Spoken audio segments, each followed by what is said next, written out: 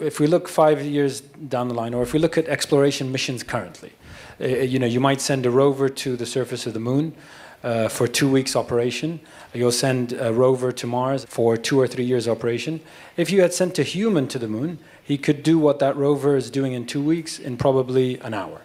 And if you send a human to do what uh, a rover on Mars is doing for three years, it might take him two or three weeks. So a human is much more efficient than a robotic system that is uh, managed remotely with the lag, the time delay, etc. So if we fast forward five years down the line where you're sending systems to Mars uh, that are very efficient, uh, are AI driven, don't have to keep communicating back and forth, and if they're able to take decisions and take actions quickly, then maybe they're able to do more than what our robotic systems are doing today. So that's what we hope to do with our smaller systems, have them powered and independent so they're able to take, let's say, decisions and be much more efficient.